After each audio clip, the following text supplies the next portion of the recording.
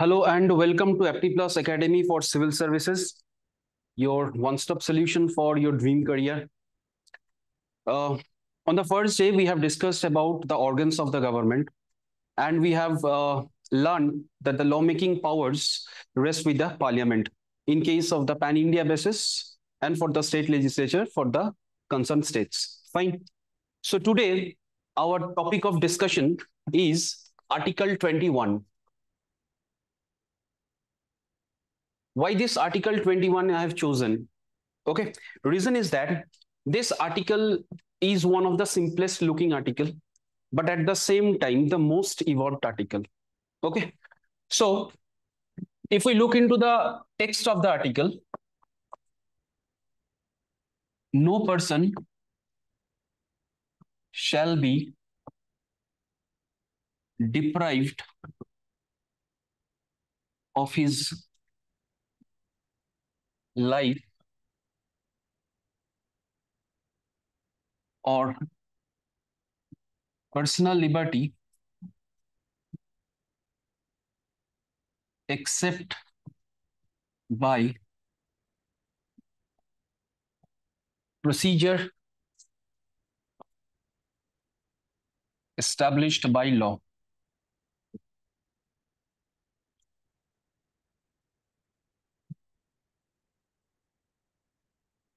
Okay, so Article 21 is the simplest looking article, but at the same time, the most evolved.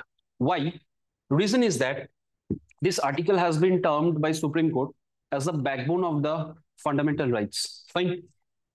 Now, here we have to look into the few aspects of this article. First of all, the word no person, it indicates both citizens as well as foreigners. Okay, because as we all know, most of us know that fundamental rights are available both for the citizens as well as the foreigners. But there are specific five fundamental rights which are available only for the citizens. Article 15, 16, Article 19, 29, and 30. So Article 21, it talks about no person, which means that it is available for the citizens as well as the foreigners. Fine. Now, this article states that no person shall be deprived, okay, of his life or personal liberty except by procedure established by law. Fine. Our point of discussion is this procedure established by law, right? This procedure established by law, this doctrine has been taken from the Japanese constitution. Post World War II Japanese constitution, the phrase or the doctrine procedure established by law was there. And we have uh, borrowed the concept of procedure established by law mainly from the Japanese constitution. Though some procedure established by law has been also has also been borrowed from the UK. Fine. Now, procedure established by law. What is procedure established by law. Fine. First of all, you have to uh, understand one basic thing that whenever our life or personal liberty uh, will be hampered by the state, okay? State does not mean the state government. State, it, the definition of state is included in Article 12 as well as Article 36 of the Indian Constitution. Okay, so the moment our life or personal liberty will be uh, snatched away from us by the state, we will definitely approach the court. Fine. The moment we will approach the court, court will look into few basic things. Okay, first one is whether there is a law. Number two, whether the law is valid. Number three, has the procedure been followed? Okay. Now, the moment our liberty or life, let's take the example of liberty at first. Okay. It's better to understand from the perspective of liberty. Suppose a person has been arrested Fine The moment that person will be arrested, some else will uh, approach the judiciary on his behalf because as we all know, there is the writ of habeas corpus. No person shall be detained without any reason or without any law. Okay. So the moment X person is arrested, uh, some else, uh, somebody else will approach the judiciary on his behalf. Now, judiciary will look into the first question, whether there is a law or not on which that person is arrested. কোনো ব্যক্তিকে যদি arrest করা হয় একটা অ্যারেস্টের এক্সাম্পলই আমরা বোঝার চেষ্টা করছি ওকে কোনো ব্যক্তিকে ধরো অ্যারেস্ট করা হলো তো ন্যাচারালি সেই অ্যারেস্টের এগেনস্টে জুডিশিয়ারিতে যাওয়া হবে the first thing the first test judiciary will do is judiciary will see whether there is a law or not. That means without law, look into the article, okay, except by procedure established by law. Okay, this is what we are studying, right? So first question, what judiciary will see, whether there is a, a law or not. If there is no law, then that person will be set free. That means without any law, no person can be arrested. Fine. May it be preventive. We have seen in Article 22 also. We will see into the later classes also. Okay. The second question, whether the law is valid or not, which means whether the law is obsolete or not, has the law become obsolete, okay, or not, that will also be seen by the judiciary. So the second question or the second test, which the judiciary will do, is to question or to validate the law. প্রথম যে কোয়েশ্চেনটা দেখবে যে আদেও এরকম কোনো আইন আছে কিনা যার উপরে অ্যারেস্ট করা হয়েছে। যদি প্রথম কোয়েশ্চেনই সুপ্রিম কোর্ট বুঝে যায় যে না এটা আরবিট্রারি অ্যারেস্ট হয়েছে কোন রকমের ল নেই that person will be set free fine but যদি একটা ল থাকল অ্যারেস্ট হওয়ার পিছনে there is a law fine now The second question will be seen by the judiciary, ki whether the law is valid or not. Okay আইনটা আদেও বৈধ আইন কিনা বৈধ ইন দ্য সেন্স এমন অনেক ল আছে যেটা কিনা অবসলিউট হয়ে গেছে। Taking the example of partial যেটাকে বলে তোমার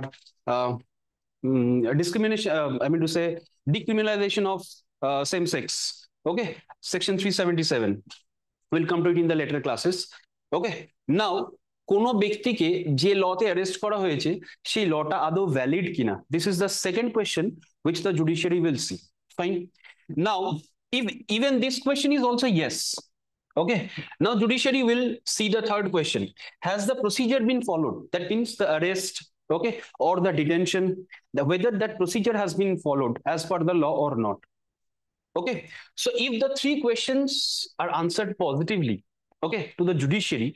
Judiciary will allow the continuance of the arrest or the detention.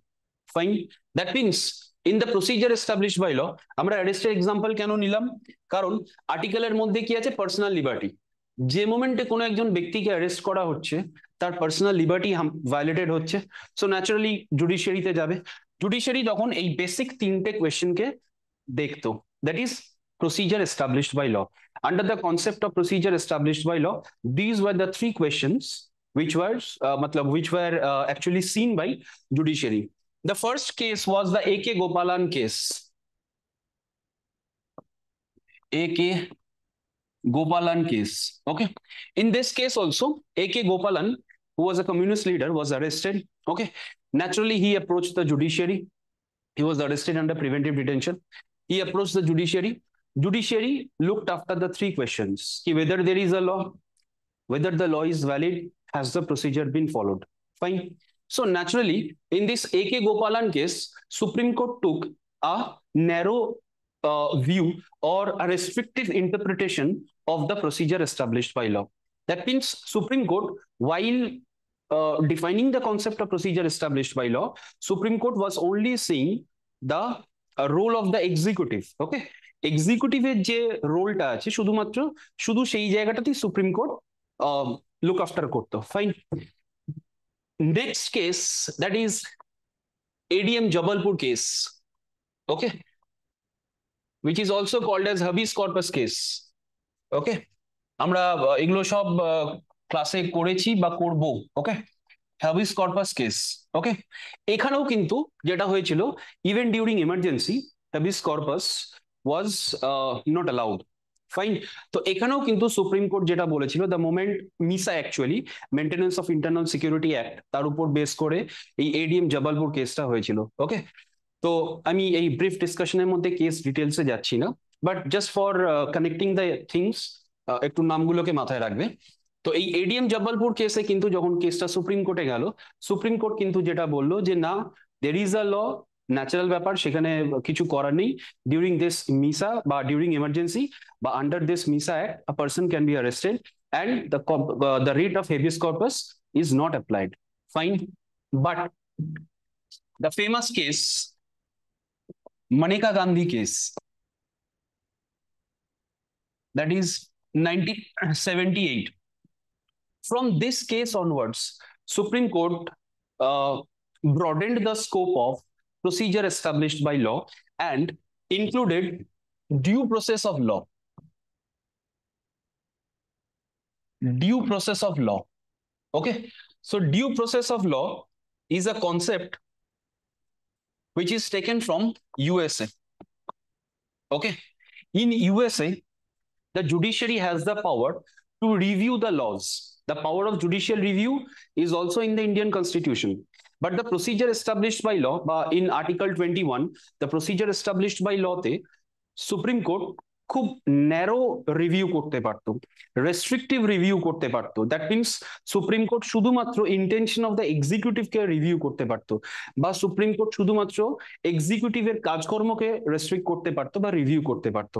Okay but in this due process of law which is otherwise applied in the USA এখানে যেটা করা হয় the fourth test is also ডান ওকে এখানে আমরা one two three test দেখেছি So in the due process of law, the fourth test is also done.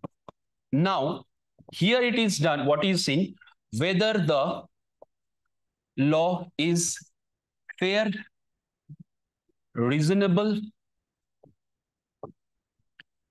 or just. That means in this due process of law, what Supreme Court is doing? Supreme Court is checking the arbitrariness of the legislature also. Okay, that means এর আগে দেখো procedure established by লতে কিন্তু supreme court শুধুমাত্র এক্সিকিউটিভের আরবিট্রারিনেসকে check করতো but in this due process of law supreme court কিন্তু went ahead Okay, a broader interpretation of Article 21 was made by Supreme Court in this Maneka Gandhi case, and it was declared that in India, the judicial, uh, the procedure established by law also includes due process of law, which means from 1978 onwards, Supreme Court went into checking the intention of the law also. Okay, now Supreme Court looks that whether the law through which our personal life or liberty has been violated, okay, whether that law is fair, reasonable, or just. This is what we called as the due process of law. Fine, because in due process of law, the principle of natural justice is also followed. Okay, out of out of the three major principles of natural justice,